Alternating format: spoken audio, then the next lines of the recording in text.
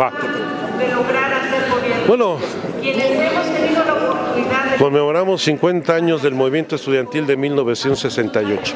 un movimiento que trascendió con mucho el movimiento estudiantil para convertirse en un movimiento popular en contra del autoritarismo en nuestro país. Hay que asumir en primer lugar que el movimiento estudiantil no se redujo solamente a la participación del POLI y de la UNAM, sino que se incorporaron muchas instituciones públicas, lo que es la Universidad Autónoma Chapingo, antes Escuela Nacional de Agricultura, la Escuela de Agricultura de los Hermanos Escobar, eh, otras universidades como la Universidad de Guadalajara, e incluso instituciones de de, educación privadas, la Ibero, el propio ITAM y otras instituciones. Pero fue un movimiento que surgió también de la lucha política y social, desde las luchas por la libertad sindical del movimiento ferrocarrilero de finales de los años 50, el movimiento revolucionario del magisterio y el movimiento médico a principios de los 60, un movimiento que enfrentó también momentos muy difíciles, que es el movimiento agrario en la lucha por la tierra, el lamentable asesinato de Rubén Jaramillo,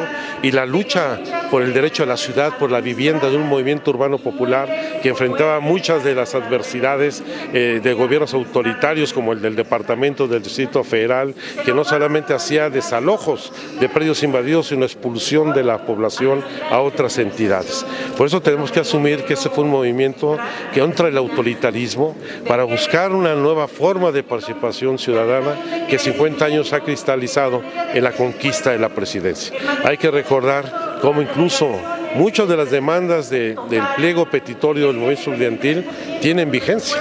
La desaparición del cuerpo de granaderos y los cuerpos policíacos represivos. Hoy lo vemos esta demanda contra las policías municipales, contra la actitud arbitraria de la Policía Federal, contra la criminalización de la disidencia política, la derogación del artículo 145 y 145 bis de disolución social, que hoy lo vemos con esta idea de abrogar la ley de seguridad interior, la idea de la indemnización a las víctimas de la represión, que hoy lo estamos pues, viviendo de manera muy nítida con esta demanda de reparación del daño a todas las víctimas de la violencia derivada de la delincuencia, etcétera. De modo tal de que el movimiento ha hecho una gran aportación y ha logrado un triunfo importante con este cambio de régimen, pero también tenemos que tener presente que ganamos las elecciones, pero el viejo régimen sigue vigente y habrá que derrotarlo en definitiva. Eso implica construir una nueva cultura, una nueva forma de gobierno y estoy convencido que con López Obrador lo vamos a lograr.